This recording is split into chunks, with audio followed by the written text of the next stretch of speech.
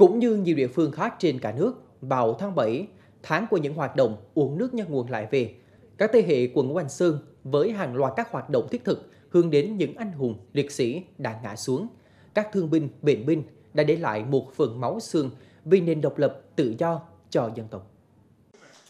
Một hoạt động truyền thống tốt đẹp hàng năm, vào dịp ngày 27 tháng 7, các đồng chí lãnh đạo quận Ngũ Hành Sơn đã dẫn đầu nhiều đoàn công tác đến thăm hỏi, tặng quà các gia đình chính sách, bà mẹ Việt Nam anh hùng. Các địa phương cùng các ban ngành, đoàn thể đã dành kinh phí và vận động các nguồn lực xã hội để triển khai kịp thời các hoạt động đền ơn đáp nghĩa. Đặc biệt, công tác trùng tu, tôn tạo, chăm sóc các nghĩa trang liệt sĩ, nhà bia tưởng niệm trên địa bàn cũng được quan tâm thường xuyên. Qua đó, thể hiện lòng tri ân đối với các anh hùng liệt sĩ, đồng thời góp phần giáo dục truyền thống yêu nước sâu sắc cho thế hệ trẻ. Địa phương tổ chức khởi công xây dựng nhà bia tưởng niệm mẹ Việt Nam anh hùng và à, tháp chuông à, tại nghĩa trang liệt sĩ phường. Thì à, đây là cái công trình mang cái tính giáo dục rất cao nhằm giáo dục cái truyền thống uống nước nhớ nguồn cho các thế hệ trẻ. Với những hội viên cựu chiến binh,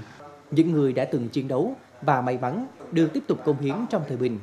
họ cùng nhau gắn kết với nhau, đồng góp nguồn kinh phí để duy trì nguồn quỹ mang tên 27 tháng 7 để mỗi năm dành tặng cho đồng đội, những người thương binh, bệnh binh và gia đình chính sách. Hội cựu chiến binh của phường à, quan tâm à, tới nhà mà thăm à, vợ chồng và gia đình cảm thấy cũng rất là xúc động.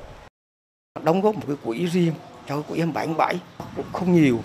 thế nhưng mà nó cũng thể hiện được cái tình cảm. Qua đó thì động viên các đồng chí thương binh, gia đình liệt sĩ. Tháng 7 ở lại nhưng những việc làm cụ thể để tri ân những anh hùng liệt sĩ, những người mẹ đã sinh thành và hy sinh những người con thân yêu nhất của mình vì đất nước. Những thương binh, bệnh binh ở quận Hoành Sơn vẫn tiếp tục